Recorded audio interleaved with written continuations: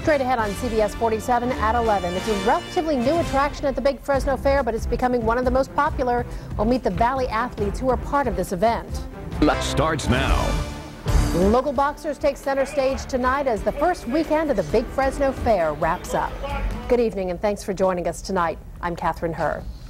Topping our news tonight, punches and jabs help local boxers improve their records during Knockout Night at the Big Fresno Fair. It's in its third year, and already Knockout Night has become a favorite event for fairgoers and the boxers themselves. CBS 47's Tony Botti is live at Chukchansi Pavilion, and Tony, that area has uh, been packed with a lot of fun throughout the day. Well, it absolutely has, Catherine. In fact, the stage that you can see behind me was recently cleared after providing hours of musical entertainment. And just before that, it was a scene of a lot of blood, sweat, and cheers. With one right hook and one second to spare in the second round, Danielle Christensen had herself a knockout. I cut it a little close.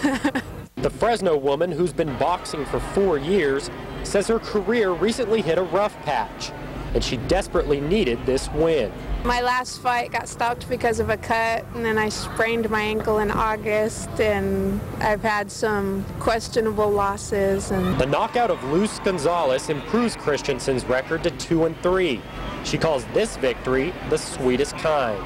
It's best to win the way everybody knows for sure you won. In the night's main event, Fresno's Lauren Myers took down Everardo Lopez in the third round.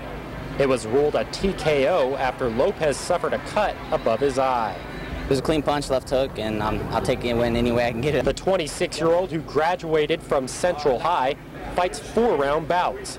Not quite a 12-rounder like in Vegas, but a challenge nonetheless. Four-round bout is, you got to be in shape for it. It's not somebody any Joe off the street can go in and do, and if he does, he's not going to last more than the first. Myers fought and won at the fair last year as well.